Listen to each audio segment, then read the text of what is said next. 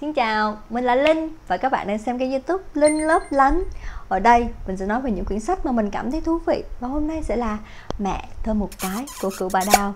Cựu Bà Đào là một tác giả văn học mà mình cực kỳ yêu thích. Ảnh là tác giả của Cô gái năm xưa chúng ta cùng theo đuổi này Quán cà phê đợi một người. Đặc điểm chung trong tác phẩm của Cựu Bà Đào đó là Nó thường có một cái lớp vỏ bên ngoài rất là hài hước Đựng ở bên trong một nội dung vô cùng sâu sắc. Mẹ thơm một cái cũng không phải là ngoại lệ. Mặc dù nó là tự truyện của cửa bà Đao kể về hành trình cùng với mẹ, chiến đấu với căn bệnh ung thư máu và đương nhiên chiến thắng. Mình thích quyển này bởi vì nó khiến cho mình cảm nhận được một cách sâu sắc rằng những người thân yêu không tồn tại bên cạnh mình như một điều hiển nhiên. Đến tuổi này, mình đi dự không biết bao nhiêu cái đám ma rồi. Nhưng mình chưa bao giờ thực sự nghĩ đến một lúc nào đó bố mẹ mình cũng sẽ rời xa mình cũng như cả nhà của cựu bà Đao đã quen với cái sự tồn tại vững chãi của mẹ rồi. Nên khi mà nghe mẹ bị ung thư máu, thì ai nấy sốc tới nỗi phải thay phiên nhau ra ngoài khóc, không dám khóc trước mặt mẹ. Mỗi người lại có một cái nỗi niềm ăn năn riêng.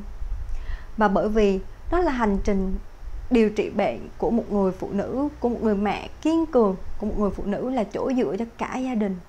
Của một người rất hiểu về bản thân, rất hiểu về bệnh tình, vì cố là dược sĩ, cố từng công tác trong ngành y nên mình vô cùng xúc động vào cái khoảnh khắc mà cô ấy cảm thấy hoảng sợ. Cô ấy nhận ra cô không phải là robot vô địch. Mình rất hay gọi mẹ mình là siêu nhân. Bởi vì mẹ có thể làm được mọi thứ.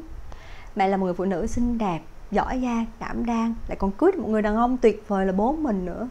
Cho nên mình thực sự là một đứa trẻ rất là may mắn. Mẹ thơ một cái là một quyển tự truyện rất nhiều niềm vui và chỉ một ít ít ít nước mắt mà thôi.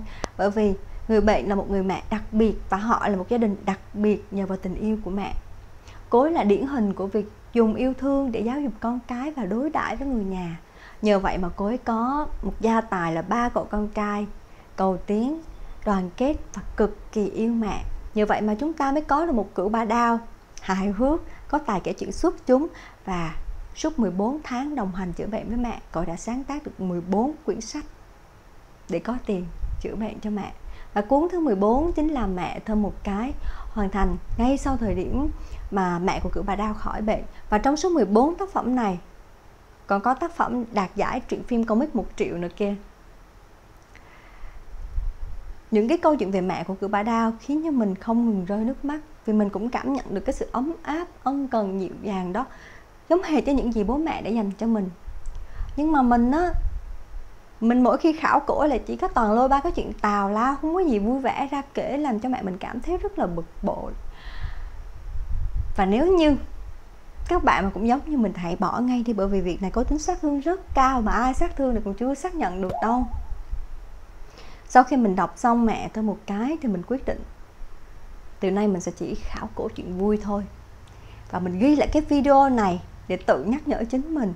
Và dù sao đi nữa, mình vẫn còn có cơ hội để bày tỏ với bố mẹ mình là mình sẽ luôn luôn ghi nhớ những ký ức tốt đẹp, những yêu thương chân thành mà bố mẹ đã dành cho mình.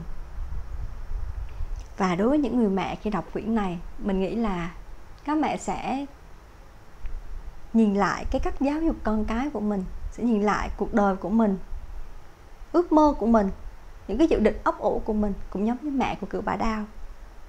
Sau tất cả đã dành thời gian yêu thương bản thân nhiều hơn. Sau tất cả, bạn cảm thấy mẹ thương một cái như thế nào? Để lại comment cho mình biết nhé. Chúng ta sẽ còn gặp lại. Hẹn nhé!